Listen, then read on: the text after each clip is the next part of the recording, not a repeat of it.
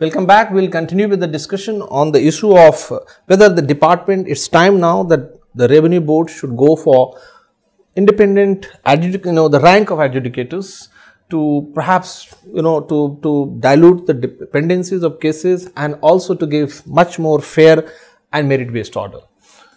So, do you think it will help to a large extent? Definitely, it would help, and uh, also some element of uh, bringing in other jurisdictions what they have. They can use this TARC reports as a basis. I've always, you know, tried to think about the real part of the cure portion. See, we would we can even talk about the prevention portion through an ARA or through an APA. But on the cure portion, if you look at our current element of uh, of element of, of, of routes available, in the settlement commission under the direct or the settlement commission under the indirect, there is an admission. First, you have to make an admission. I have not, I have not filed my income. There is no scope for a person who has a genuine difference of opinion, a genuine entity, a genuine assessee who has a genuine difference of opinion with the revenue to have an alternate dispute resolution. So it could be a domestic issue, it can be any other issue. Now the larger issue would be is maybe we can look at nearby jurisdictions. I think I am a great fan of Bangladesh these days, and I find that their dispute resolution, you will find in the code, the word negotiation is used many number of times. Recently, Nepal has come up with a settlement commission. It's, it's got a validity, I agree, but they've looked at a concept of negotiation. So everywhere you don't have to bunch everybody with the element of guilt. There are people who, there are assessees who have genuine differences of opinion on an issue. So what about them? What about that portion of the population, which will be a major portion of the population, than the people who are generally, who are entitled to only these kind of cases before the settlement commission? That's a larger question. That So, sir, I mean, what, what has been your experience of this? So far as this alternative dispute resolution mechanism is concerned, the four major components of uh, arbitration, conciliation, mediation, and negotiation. So, how do you look at, sir? This- Because some of them are, of course, uh, completely no for our tax system in India. taxes because you know the mindset or the thought process from what i know is that arbitration this is a tax collection is a sovereign function. So whether you can go in for arbitration or not that's a very big issue.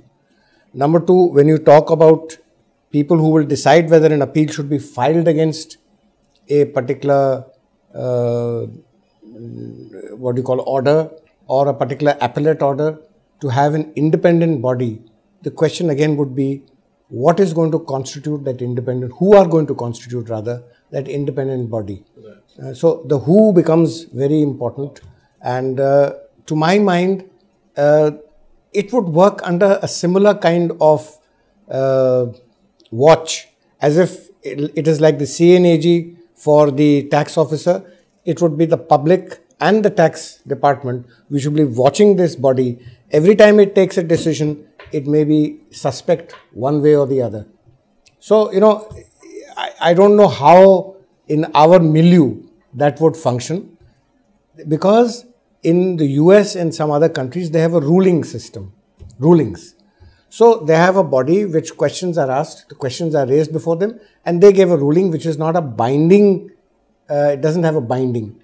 We have the authority for advance ruling for that purpose, and they give a, it's an open court hearing, and the decision may or may not be transmitted to the media or to any tax report or anything if the taxpayer doesn't want it. So there is a system of advance ruling there, but the advance rulings are taking to too long. One in the constitution of the members and the chairman who have to uh, give out the decisions. That takes every time one member retires, it takes seven to eight months. By the time he settles in, it takes another two months. So for 10, nearly 10 months, nothing happens with the AR. So the cases keep piling up and we have had different processes which have evolved over time with the AR. and that process is that first I was must admit it and then I must decide it on merits. The from what I understand, the present dispensation in the AR, the members, them, the chairman, they feel that okay, I have admitted it. No, why don't we get on with the merits right now? But it's not possible because the people have not the uh, applicant has not come prepared and revenue also may not be prepared to argue that case on that date So, you know, everything gets pushed. But sir, do you think that you know this uh, the recent episode of Luxembourg, this this overall doctrine of ruling, which is so well respected in some of the countries, it, its credibility has been eroded. Where particularly third world countries, say that. Uh, for example, I think I can lightly contrast this. See, let's let's. I agree with Mr. Uh, Mr. Mathur's view that whether this is fitting our milieu is a very very very credible point because taxing is a sovereign right. Now we have a neighbor called Sri Lanka. In Sri Lanka, the code I don't I remember because we are operating there. I don't remember to have seen anything directly on negotiation. But in the process of assessment, you have an issue they have an inbuilt negotiation that fits into the assessment orders. Okay. So there is an element of give and take in the system there. So something other, somewhere or the other. See, it's what was the purpose of, So of- that that is a pre-dispute what is the purpose consultation of, is negotiation of, of because all at people that summing? Stage we need to reduce disputes. Then we must find a combination of measures. You can't expect only ARA to take the load and the APA to take the load. What about the Right. people who come at the cure stage? Yes. The cure stage also people would have to look at the cure. So maybe the base of the SSC officers are functioning Yeah, today. see, uh, uh, Shailendra, the point here is today, if you see a transfer pricing officer, he handles 130 cases. That too, he starts sometime in August and ends up in December.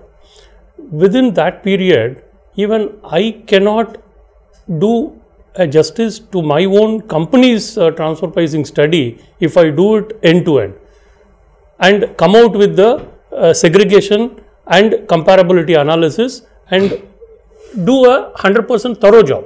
So, given that for one company where I have been sitting all through the year running through and vouching that transactions, I am not in a position to do justice. You, you can't expect a transfer pricing officer to sit on 130 work- and Right. make a judgment. So that's where actually Dr. Shome has uh, clearly pointed out the pre-consultation. What that means is we can hire experts from the corporates or from other fraternity where they have a professional knowledge on that subject or they have done research on that subject they, they are um, uh, economists uh, who are there in the market who are available on a engagement basis where they will be allocated some 20 30 files and they will study and help the transfer pricing officer to get into that level of maturity which he ought to have when he is passing the order.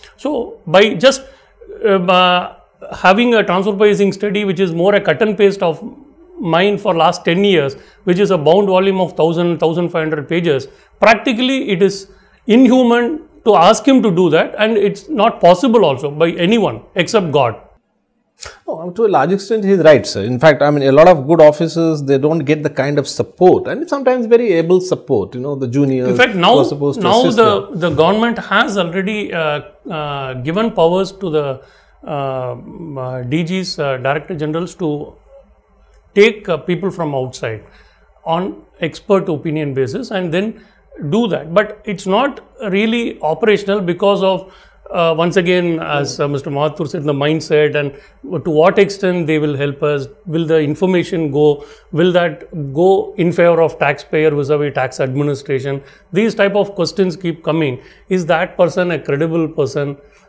So these type of questions keep coming. So that's where actually even dr shome said psychological training for the officers is also important.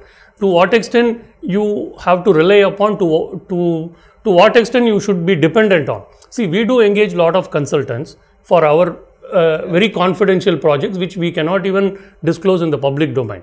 We do consult. So what we consult is xyz without naming anything. We give a structure around it and get an opinion. So that's what we do. So same way, government also can do it. Need not go and hand over the 20 files and then ask them to give a report on that. It's not a litigation where you engage a lawyer and ask him to present uh, your case.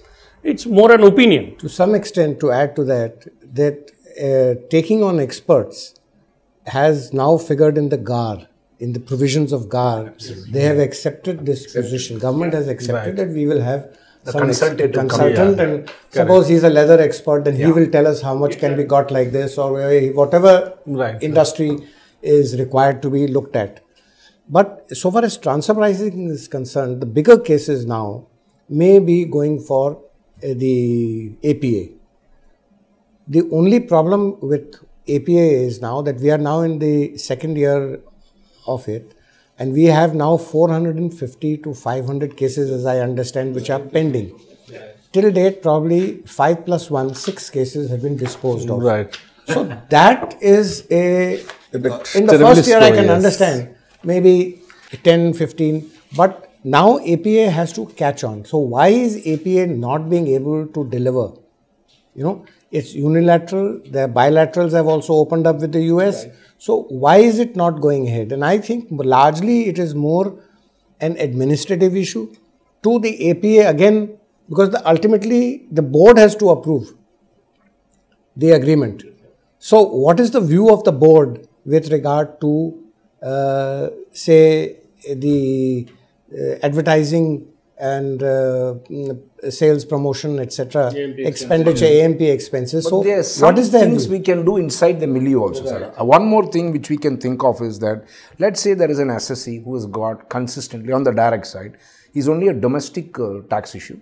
He's got consistent additions, let's say, of a cut-off limit as fixed by the board in relation to different categories or groups of com- of uh, industries, cutting off of the of the cut-off level, and it has consistently happened for three years, and they find that it is happening every year. Then they can, the department can appoint a facilitator in these kind of cases, as we call peer board review Right, peer board review, yeah. peer board review can be can be inside the department. Mm-hmm. As I'm trying to bridge what Mr. Mathur said. Correct. And But that's what is being done Yeah. this year. peer board review. You take a peer board review and see whether it is genuine. Now, as a result of doing this, what are you doing? You're doing you're doing to help the SSC. The fourth year may be a better year than the first three years. Right. So if you see these things, maybe you don't have to do, you don't have to substantially change the act. You do not have to, you don't have to find whether the taxing rights are compromised. So many things you can do inside the latitude that is available to us. Absolutely. Then, sir, you know, then we have of uh, dozens or dozens of Supreme Court, High Court, you know, settling a lot of legal point, law points, and maybe the board should quickly take a view if certain points are acceptable to the board. They should come up quickly with the instructions, etc., so that a lot of disputes can be, you know, stopped at the lower level itself. Actually, no, this is very important point, and I think Mr. Mathur also touched upon this, and which happens in various other countries. That on there are regular guidelines being issued by the uh, no, by the board or the uh, top body, which doesn't happen so frequently in our country. So, if you there is an issue or indirect tax side or on the direct tax side, how frequently we issue guidelines? Uh, taking the practical uh, business examples in mind and advising uh, the tax administration that this is in such kind of a situation that's the uh, right course of interpretation or right course of action to be taken. We don't do that. So i think that's one big area where uh, uh, i think government should pitch in and the board should be much more, proactive. yeah Well, the only point is you don't have to interfere in the power, as Sant correctly said, in the power of a commissioner appeals. You are not allowed to do so. The law prohibits you to do so. But at the same time, where there are issues, the- there is no simple gain in saying you obey a jurisdictional high court de- decision once in four years and issue a circular. But then, can we find ways and means to ensure that this is also done practically on an The, the bigger question I would go one step above and say, even if CBEC or CBDT issues a circular, whether the field formation adhere to that? Should they adhere to that? Are they adhering to that? That- that is I think I think are they adhering is more important. so, so actually, if we cut across and try to find a common thread in my mind, uh, why our tax administration is risk averse. They are terribly risk averse. They don't want to take any risk. So, what is the reason for that? And uh, uh, I think, should we not have disincentive for having frivolous litigation? If we are able to you know, tackle these structurally, then I think all these suggestions will fall in place. I think all the dispute uh, resolution mechanisms that are there, either at the commission appeal level or no, whatever mechanism is there, I think that will fall in place. That will that should deliver uh, the way it is int- intended to deliver. So I think structurally we need to find a solution. in this in this uh, you know when you say structurally, uh, I, starting at the base, which cases are you going to pick for scrutiny? Yes. So we have the Risk de- base. the risk base. So the department has set up an office of DG risk assessment. So I think today that is the most important office it has to decide, and it is done all information gathered electronically, it's put up, and then you make an assessment as to which are the cases which will give you maximum amount of evasion if there is any. So those cases are picked up for scrutiny. Not that you pick up cases every year on ad hoc. Suppose it is capital gains of more than 25 lakhs, so you will take it up for assessment. Correct. If it is uh, loss of uh, so much, then you must pick it up for scrutiny. Those may not be the cases which may be giving the department the best that they can hope to get from a case. So once you do at the base level, first decide onto which cases you do after a risk assessment has been made. Second is then the assessing officer has to be given that detail as to on what basis this was picked so he knows what to chase up and look for. Right. But uh, why not why not larger issues at least at the LTU stage? For example, LTUs have not taken off well with the intention with which they were started. Why not have a risk protocol signed for a corporate or uh, an entity having so much of assessable income or clearing so much of goods or pay, or delivering so much of services? So why not have a risk protocol? The risk protocol can be revisited once in three years and that framework of risk protocol should have a direct and an indirect side. Once it is signed and sealed, it's not, it's not affecting the, the sovereign right to tax. So it's, it's a risk protocol based on which the government will conduct itself vis-a-vis that enterprise. No, actually, Sheetal, no, this is a very pertinent point again uh, in terms of uh, uh, the action one can take.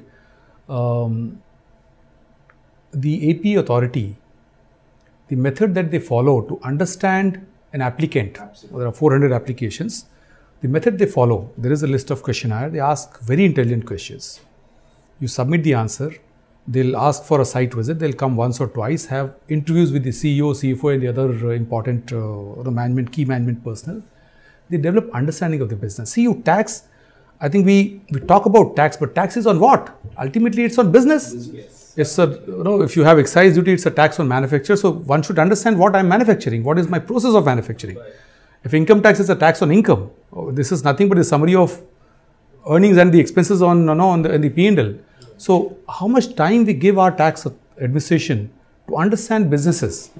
If we spend some more time, I think, I think this is the most important thing yeah. that you have touched Absolutely. upon, Absolutely. and this most is, important. and I, I believe now for many because you know you can teach tax law you can teach tax rules but until you know how a business actually functions tax is on a situation so they have now started in nagpur which is the in the direct tax side we have the academy in nagpur they have started a course for the last 4 to 5 years on business studies for the for the first time so which is a very big very big thing and i think maybe some good comes out of it actually you know just to off the cuff I have one of my assessing officer in LTU. I have a company in LTU Bangalore. So there is a joint commissioner there. Uh, he came from, so he's 12 years experience uh, post his uh, IRS. Uh, he was sent for uh, a one year course in IIM uh, Indore. Oh, okay. And I think this was a program which I think yeah, the mid-career which in 2010 some programs were started. And uh, when I met this guy when he came from there, it was uh, it was a fantastic experience interacting with him. Mm. And it was uh, no, it was a very happy experience. Worth interacting. And the manner in which he handled the assessment was, yes. I was thrilled. I was thrilled. I thought, maybe I, am I in the same country before yeah. the same? Uh, because they are getting exposed people are to going there. The international people are going abroad. This is really helping them. yes. Uh, yeah, people are going abroad. So I, 40, I know 40 to 50 people are officers. I know. So next batch is going in July now. Currently, we learn the business only at the Supreme Court. Correct. If you see the the judgment Supreme Court delivers, read that uh, 500 page judgment, you will get to know what the business is doing, what it has been doing, and why it was caught, uh, what was the situation under which it was caught, whether is that legitimate, is there any way which could have avoided it. So, all these are deliberated only in the Supreme Court judgment not below that. So See, business is learned there only. See, this is very unfortunate part. We forget that tax is on a given set of facts. And uh, there is a huge, no, it's a divorce between these two situations. The tax administration, whatever, you know, unmindfully, they just follow a track uh, without knowing what the business is doing, what the company is doing. Absolutely. That is why there is a lot of emphasis sir, in But this if you do a risk protocol, what he says will happen. will happen. Absolutely. You yes. do a risk protocol. All this, what he, what the APA is doing, even normal people would do. Your your local domestic tax assessment officers would be doing. In fact, no, just to share with you, just maybe extending this point, when we internally assess a situation and uh, and we, when we uh, you know, update our top management on a tax situation, the kind of fi- uh, fact finding we do internally within our company where we are working for 10 years, it takes a lot of time. It does. Absolutely. We will take a short break and after the break we will touch upon substantive uh, recommendations made by Dr. Parthasarathi Shome.